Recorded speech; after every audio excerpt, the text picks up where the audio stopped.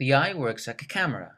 The lenses in the front focus the image on the retina, where nearly 1.2 million individual photoreceptors obtain the image and send it to the brain through the optic nerve.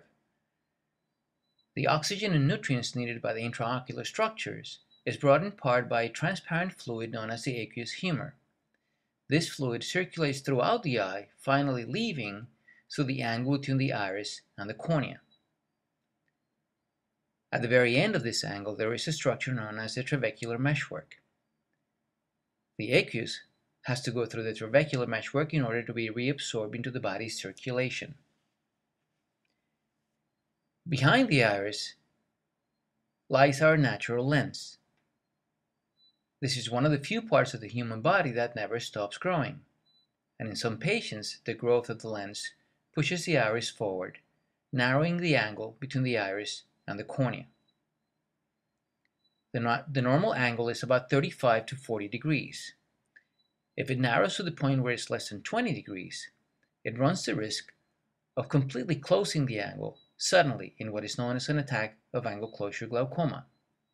When this happens, the pressure is so high that no oxygen goes to the optic nerve, which is permanently damaged, and the patient ends up blind. The patients who are at risk for this can be identified during the exam with the slit lamp biomicroscope.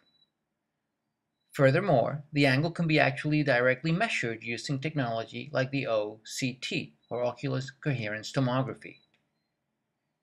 The angle should be about 35 to 40 degrees. If it is less than 20 degrees, those patients are at risk for an angle closure attack.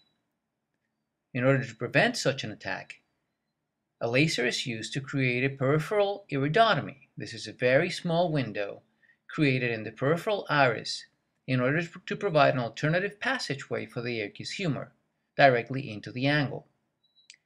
Once the iridotomy is created, the aqueous passes straight into the angle, helping open the angle, and always providing an alternative passageway for the aqueous, effectively making it impossible for the angle to completely close and create an angle closure glaucoma attack in the future.